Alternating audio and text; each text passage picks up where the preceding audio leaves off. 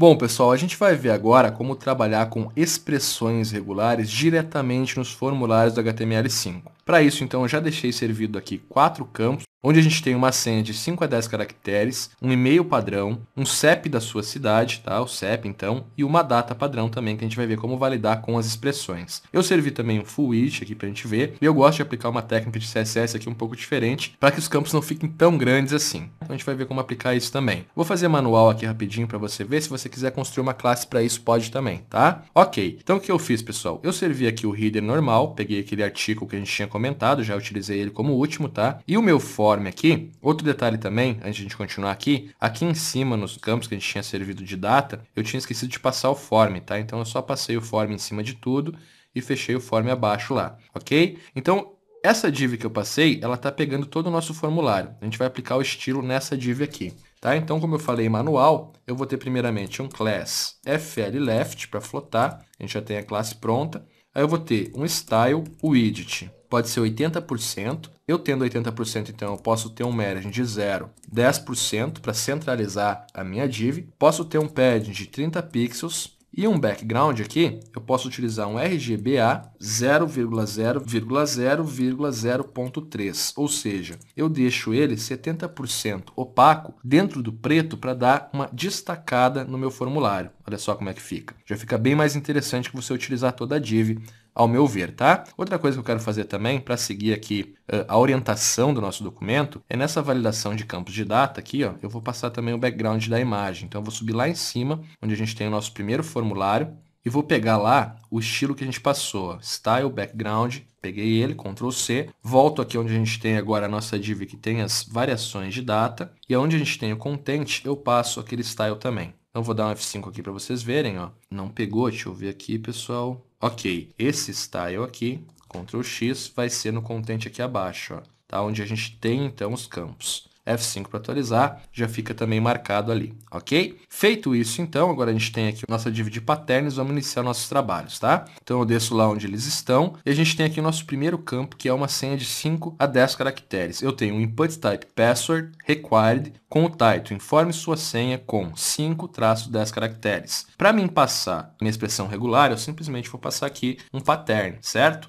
O nosso pattern, a nossa expressão regular, ela tem que ser inicializada sempre com um till, que está dizendo que eu vou começar com, e eu passo um cifrão para terminar a minha expressão. E dentro disso eu vou passar o que eu quero. A senha é bem simples, pessoal. Eu passo aqui o meu conchetes para definir o meu primeiro grupo. Eu vou passar novamente que eu tenho que começar com qualquer caractere, tá? Então eu passei o nosso tio e um asterisco, e aí eu abro e fecho aqui as minhas chaves, né? Eu tenho conchetes para o grupo e chaves para definir o que eu vou aceitar, quantos caracteres ou quantas repetições eu vou aceitar aqui. Eu vou passar 5 de mínimo, vírgula 10 de máximo. Já temos a validação. F5 para atualizar, você percebe que ao digitar 1 aqui, ele não vai validar. Tô indo, Passei o quinto, já ficou verdinho, tá? É quase imperceptível, mas se eu vim aqui tentar enviar, ó, é preciso que o formato corresponda ao exigido. Eu tenho o título, informe sua senha com 5 a 10 caracteres. Passei o quinto caractere, já validou, ficou verdinho de novo. Se eu passar o enviar, ele vai para o segundo. Agora, se eu passar de 10 lá, ó, ele não vai mais validar. Então, a gente tem uma expressão regular para nossa senha. Vamos agora ao nosso e-mail padrão. Vou entrar aqui no segundo, pattern então, inicio e finalizo. E um e-mail, pessoal, ele tem que ter o nome do e-mail, vai ter que ter um arroba, tem que ter um domínio, e aí ele pode ter o .com.br, ou só o .com, .org, .site, entre vários, tá?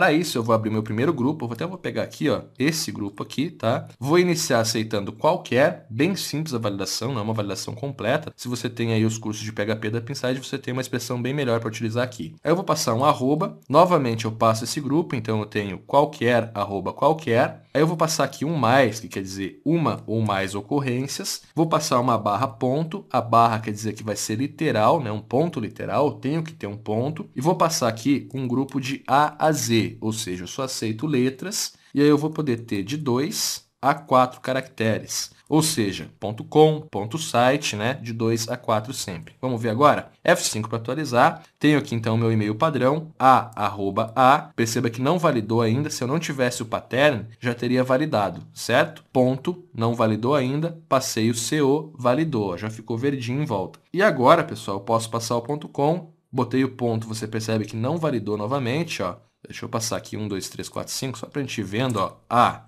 não validou, arroba não validou, A novamente não, ponto com validou. Se eu passar o ponto, ele vai perder a validação novamente. E eu passo o BR, ele valida novamente, tá? Então, e-mail padrão visto também. Depois a gente tem aqui, ó, o CEP da sua cidade, ok? Novamente, então, a gente pode passar o nosso pattern, inicio e finalizo. E aqui, pessoal, eu vou passar dois grupos. Então, para mim agrupar elementos, eu passo aqui os parênteses, tá? Vou passar aqui a minha chave que eu vou aceitar de 0 a 9. Depois, aqui fora do grupo, eu passo um traço, que vai ter que ser literal, tá fora do grupo, então é digitado. Vou passar 0 a 9 novamente. Então, eu aceitei todos os números e todos os números em dois grupos diferentes, certo? No primeiro grupo, eu vou aceitar 5 caracteres. E no segundo grupo, eu vou aceitar 3 caracteres. Olha que simples, pessoal. F5 para atualizar. Passei lá, 99300 000.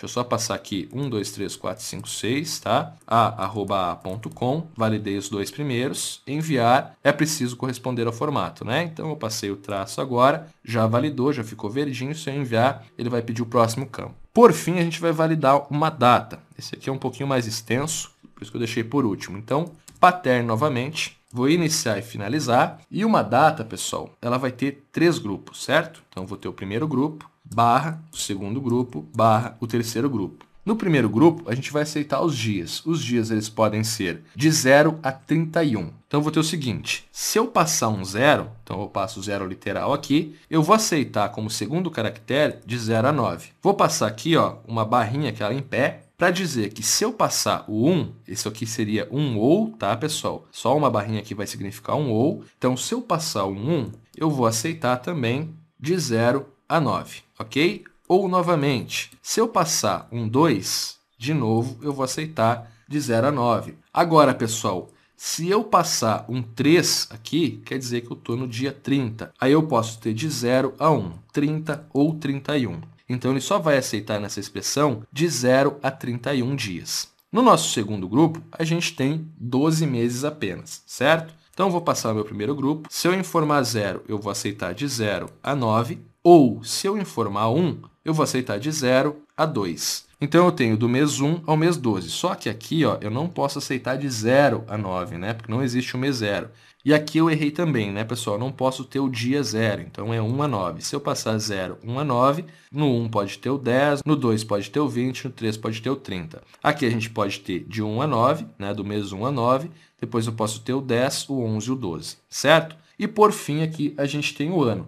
O ano não tem como a gente fazer uma validação com expressão aqui, a não ser maior e menor que um ano padrão. Então o que eu vou fazer é o seguinte, eu vou aceitar de 0 a 9 e vou aceitar 4 caracteres, ou seja, eu tenho que ter o padrão de dia, mês e ano, tá? Como está aqui, ó, exemplo, mês, mês, dia, dia, ano, ano. Vamos ver se validou? Vou dar um F5 para atualizar, vamos passar lá nossa senha, validou a senha, arroba.com, validou o e-mail, CEP 99300 000. Validou o CEP, certo? Agora a gente vai ter que validar aqui a nossa data, então. Que eu vou passar dia 32, não aceitou. Né? Vamos passar aqui, ó, 31, não aceitou. Deixa eu passar a data inteira aqui, 12, 2014, certo? Já aceitou. Vou passar o 32, tentei validar, não deu. Vamos passar aqui 20, já validou, certo? Vamos passar aqui o 13 agora, tentei validar, não deu. Vamos passar o 2, validou. Se eu passar o 32 aqui de volta, ó, não vai validar de novo. Então, ele só vai aceitar de 1 a 31 dias. Ó, se eu passar 00, ele não valida também, tá? Então, tem que ter 1. Ok, validou. E aí ele vai aceitar de 1 a 12 meses, como a gente fez aqui no segundo grupo, e ele vai aceitar 4 caracteres com o ano. Então você já sabe agora como aplicar o pattern diretamente no seu formulário sem precisar utilizar nenhum PHP.